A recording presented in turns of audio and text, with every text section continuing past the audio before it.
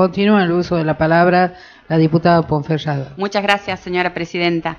Eh, agradezco el aporte.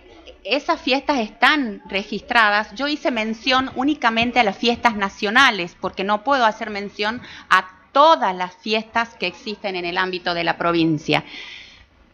Y es más, no mencioné al cabrito, porque el cabrito no es una fiesta nacional, es un festival nacional y no tiene el registro en las fiestas nacionales como fiesta nacional. Eso se hace a través de una resolución del Ministerio de Turismo y Deportes de la Nación.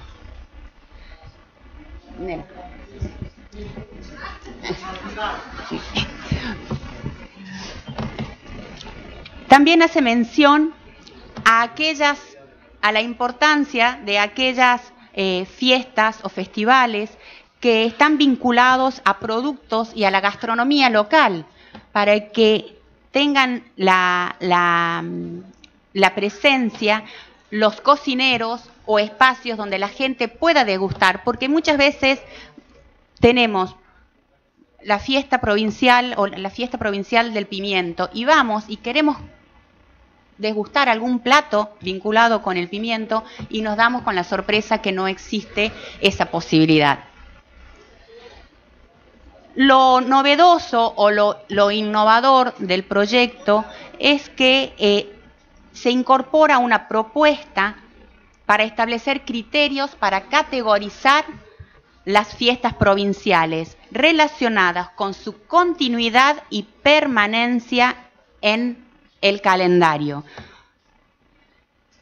Y esta permanencia, esta permanencia y esta continuidad es lo que le va a dar a las, a las fiestas una categoría.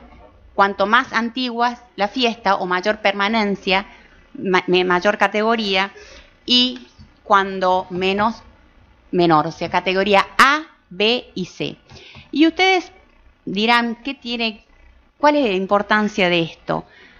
Creo que es una herramienta que puede llegar a, mm, a solucionar muchos problemas en los organizadores y en los órganos administrativos, tanto municipales como provinciales, al momento de em, las colaboraciones o ayudas o, aportes para la realización de estas, fiestas. Y por último, fundamental, que para que estas fiestas sean declaradas, sean incorporadas en el registro, deben cumplir con la Ley Nacional 27.539 de cupo femenino y que la cartelera o la programación esté integrada por mínimamente por el 70% de artistas locales. Por todo esto, estimados colegas, es que solicito que acompañen el, el presente proyecto para que eh, pueda ser ley en un futuro. Muchísimas gracias.